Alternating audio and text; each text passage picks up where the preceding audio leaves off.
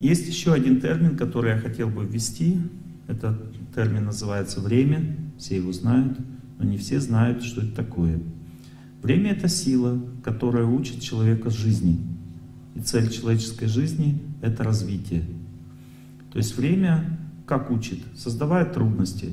То есть время действует на грубое тело, которое оно постоянно старит. Наш организм стареет с самого рождения. Хотя мы сначала растем, вроде развиваемся, но тем не менее мы не молодеем, чтобы вы знали. Некоторые люди думают, что человек может жить вечно. Человек женщина вечно жить не может, потому что время разрушает все. Даже если кирпич положить вот на стол, через 200 лет он превратится просто в труху. И хотя его никто не трогал. И сам стол тоже через какое-то время превратится в труху. То есть в этом мире все стареет. Все, что связано с материей, стареет. Но интересно знать, что наше тело, псих... ну, наше физическое тело имеет два типа старения. Не как стол. Вот стол постепенно стареет и все. Все зависит просто от того, где он стоит. Если бы он в леднику, в ледник его поставить, то он будет дольше стоять. Вот. Потому что там нет микробов, они не, его не жрут. Вот. Если говорить о нашем грубом теле, то есть просто вот постепенное старение, которое, если бы оно только действовало, всем бы очень понравилось, потому что человек бы жил, я думаю, лет 90-100 без проблем. Но есть еще один вид старения, который люди не знают, поэтому они очень сильно удивляются, когда это происходит.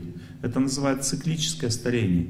И циклическое старение означает, что неожиданно мне стало тяжелее жить. Особенно это сильно чувствуется с возрастом. Потому что организм старше становится, меньше запасов здоровья. Вот когда молодой организм, плохой период, цикл пошел, плохой, человек просто чувствует чуть-чуть, что что-то не то. Но сильно этому большое значение не придает. Он думает, что-то, может, съел не то или еще что-то. Ну, не понимает, что он, он думает всегда, что все проблемы только от его поведения. Часто мы так думаем. На самом деле 50, э, даже больше проблем у человека со здоровьем идет просто от того, что наступил тяжелый период, связанный со здоровьем. Например, вот женщина на меня смотрит с светлыми волосами. Мужчина с женой сидит, и дальше женщина вы. У вас сейчас идет плохой период, связанный со здоровьем. Он начался два с половиной года назад. Вам стало тяжелее жить за это время, вы чувствуете себя хуже физически. Так или нет? Так. А когда он закончится? Через полгода. Через полгода. Точнее, через четыре с половиной месяца вам, вам станет легче вот это напряжение внутреннее, которое усталость, которую вы сейчас испытываете, вам она пройдет. Можно чувствовать ход времени, если потренироваться. Это несложно. Это не то, что мне молния по башке ударила, и я стал таким ясновидящим. Я просто изучаю это все, и вы тоже можете изучать, если хотите. Это несложно на самом деле. Это естественный процесс, это циклическое влияние времени. А? Я не виноват. Мы чем-то виноваты, поэтому и страдаем. Но просто эти, эти наши вина, она приходит к нам циклами. Понимаете? То есть в чем-то вы были виноваты и из-за этого страдаете. Но вы не страдали тогда, когда не положено. А когда положено, это наваливается все резко. И понимаете, чаще всего люди в большинстве своем уходят из жизни из-за влияния этих циклов. Плохой период начался, и человека снесло. Вот в прошлом году, в конце октября, у меня начался плохой период, связанный со здоровьем. Мои камешки, которые я ношу для того, чтобы мне легче было жить, они меня тонизируют, они перестали мне помогать. Вот. Я почувствовал, что все, что я делал для своего здоровья до этого, перестало мне помогать. У меня пропало хорошее самочувствие, усталость появилась постоянная. И я почувствовал также, что в моей молитве за родственников, за друзей у меня тоже нет сил. И я своих друзей предупредил, что вы сами теперь за себя молитесь. Не гарантирую ничего. В это время моему отцу резко стало хуже. И я ничего не мог сделать, потому что у меня не было сил. И через месяц после этого он ушел из жизни. Ну, то есть это результат вот таких плохих периодов. Приходит время, и это синхронизировано все у родственников, понимаете? То есть приходит время, и, ты не можешь помочь, и ну, вот такие ситуации возникают. Ну, то есть я вам это все рассказываю, чтобы вы поняли, что я не то, что фантазирую что-то, у вас тоже в жизни такое было. Часто родственники уходят один за другим. Многие люди это отмечают, потому что наступает плохой период и нет помощи, понимаете? Вот эта энергия счастья не поступает в достаточном количестве в сердце человека, в организме. Это сердце имеется в виду не мешок вот этот сердечный, а это тонкое пространство невидимое. Это зона вот эта вот. Сюда поступает энергия, отсюда выходит. Человек не может уже ни себе помочь, никому.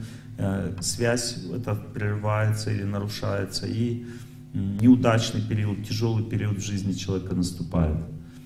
Когда могут рушиться отношения или уходит кто-то из жизни. Это циклическое влияние времени бывает физическим, а бывает психическим. И оно иногда вместе плохо действует и на наше тело, и на нашу психику, а иногда отдельно.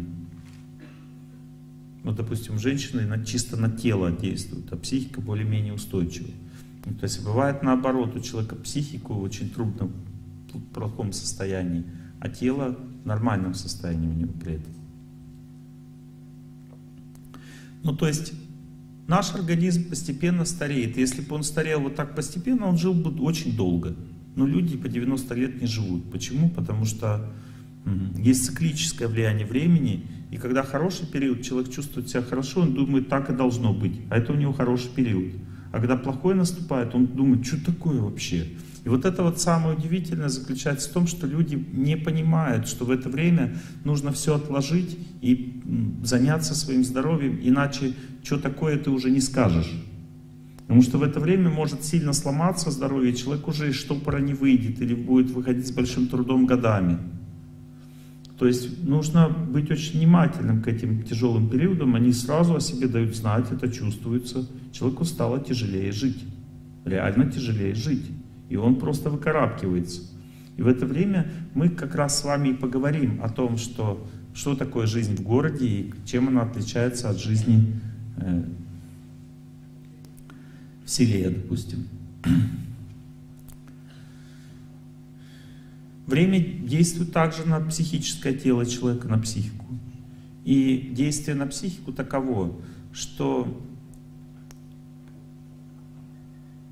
есть постепенное влияние времени, оно такое, что когда рождается человек, то из его психики трудностей выходит очень мало трудностей. И человек чувствует себя счастливым в детстве, потому что мало трудностей, много счастья. И также он излучает счастье. Все люди очень любят детей, потому что они излучают счастье. Если бы сейчас ребенок зашел на сцену, вы бы на меня уже не смотрели, смотрели на него, потому что я счастье излучаю меньше. То есть вы бы радовались, и вы смотрели на него, потому что от него исходит энергия счастья от ребенка. Но бабушки уже никто так сильно не радуется, потому что от нее уже не так много счастья исходит. И даже ребенка целуют в попу, так, так очень вкусный он такой, а бабушку никто не целует уже, потому что уже не такая вкусная, что энергия счастья меньше от нее исходит, потому что энергия времени, она на психическое тело действует таким образом, что с возрастом количество трудностей в судьбе, психических трудностей возрастает. И поэтому пожилые люди часто ворчливыми становятся, очень депрессивными и так далее. Надо понимать, как работает эта вся система, что это время так действует. Но еще и ведь есть циклическое влияние времени, когда человека просто психически нахлобучивает, а потом отпускает. Так как это циклическое влияние, допустим, некоторые люди говорят, у нас нет теперь нормальных я не чувствую любви к своему близкому человеку. Вот девушка в синеньком, допустим, сидит. Вы замужем? А? Нет, вот в синеньком, не вы, а вот, вот. Замужем? А вы чувствуете любовь к своему близкому человеку? Чувствуете? Сейчас у вас хорошая связь с ним внутренняя? А? Замечательно, вы рядом. У нее начался плохой период, связанный с вашим восприятием вас. Буквально через э, месяца два она может начать вам говорить, что у меня что-то холод по отношению к тебе в сердце и так далее. Этот период продлится всего три с половиной месяца и потом закончится. А начался он несколько дней назад. Я специально вам это сказал, чтобы проследили дальше. Потому что люди какие делают выводы. Говорят, все, любовь кончилась, завяли помидоры. Понимаете, а на самом деле это просто временно. Вот у кого сейчас вот вы чувствуете, что нет любви к близкому человеку, я вам скажу, у вас почти уже закончилось. Вот у вас этот период прошел, да. Вы сейчас уже должны чувствовать. А? Начали потихоньку, да? Нет, вот сзади, сзади совсем, женщина. Совсем сзади. Вот вы, да. Вот я с вами говорю. Еще ручку поднимайте. У вас только начался где-то месяца три такое состояние. И думаете, уже все, надо расходиться, да? Потому что нет любви. Вот это ошибка. Потому что через пять месяцев все опять возобновится. А? Не, на первом ряду вот девушка и женщина. Через пять месяцев опять любовь пойдет. Надо подождать. Вот эта ошибка, понимаете, люди часто думают, что нужно... У вас не проблема в периодах, у вас неправильно строятся отношения женщины. Вот вы ручкой показали, вам надо очищать свою ниточку вот эту, у вас сильно загрязнена. Нет, вот вот я, да, вот ручку, поднимите ручку, чтобы сзади не думала, что я с ней говорю. Я не с вами говорю, нет. Понятно, да? Ну, то есть есть плохие периоды даже в отношениях, циклы. И люди должны знать, если меня остудило как бы близкому человеку, это все пройдет, потому что в этой жизни все циклами происходит, все меняется. И не надо просто терпеть, учиться ждать. Надо только выучиться ждать, надо быть спокойным и упрямым, чтобы порой от жизни получать радости, скупые телеграммы.